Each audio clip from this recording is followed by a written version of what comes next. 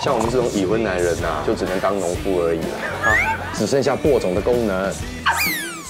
换田种啊，会劈腿的男人基因才是好的基因。小姐看起来很面熟，有一个老爱逼婚的女人，她永远不懂婚姻跟爱是不一定要画上等号的。一个吊儿郎当、无法对你负责又浪费你青春的人，是真爱。